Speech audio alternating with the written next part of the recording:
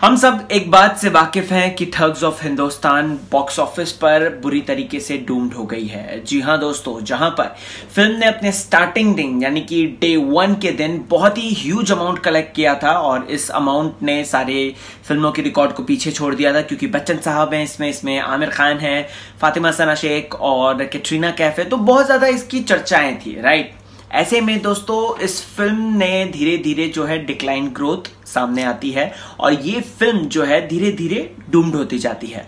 अब इसी बात से नाखुश दोस्तों, आमिर खान ने एक फैसला लिया है रिपोर्ट्स की माने। तो आमिर खान जी ने प्रॉफिट शेयरिंग के लिए मना कर दिया है। ज़्यादातर हम सबको पता था कि आमिर खान जो है, वो अपनी तो फ़ीस लेते ही लेते हैं, उसके साथ साथ फ़िल्म के बिज़नेस में अपनी प्रॉफिट शेयरिंग भी लेते हैं, जो कि एक स्मार्ट मूव है। और यह मूव आमिर खान ने ही सबसे पहले इंडस्ट्री में शुरू किया था।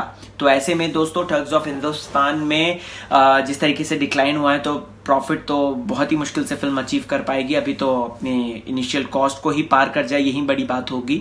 तो ऐसे में आमिर खान का ये डिसीज़न बहुत ज़्यादा काबिल तारीफ़ है और इसी सिलसिले में वो यशराज के जो सुप्रीमो है, यानी कि आदित्य चोपड़ा जी हैं उनसे मिलने वाले हैं जल्द और आदित्य चोपड़ा से मिलकर बातचीत कर कर वो इस डिसीज़न पे अमल करेंगे।